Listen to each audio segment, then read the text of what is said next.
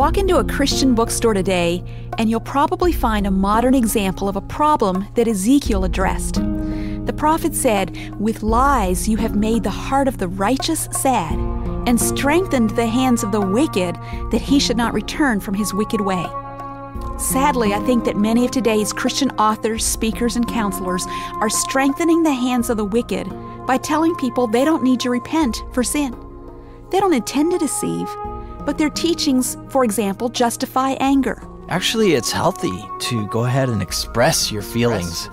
And selfishness. You have to put boundaries between you and demanding people. And irresponsibility. You have every right to act that way. You've been wounded by others. We need to constantly be asking ourselves, what's the message here? What does the Bible say? Remember what Paul said let no one deceive you with empty words. With Seeking Him, I'm Nancy DeMoss Wolgemuth.